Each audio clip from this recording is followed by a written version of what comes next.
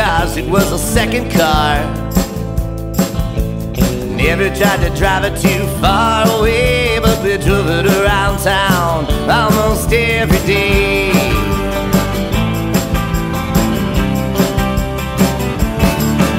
The old gray bug with one red eye, rusty old machine. Yeah, you might say it was on its last wheel, but we drove it till the wheel fell off. Now the old gray bug is just a memory.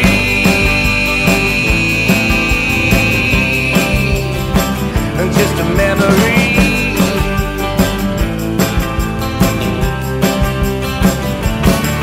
Well, the old gray bug with battle scars, who was a friend of mine. Well, I pretended to drive it so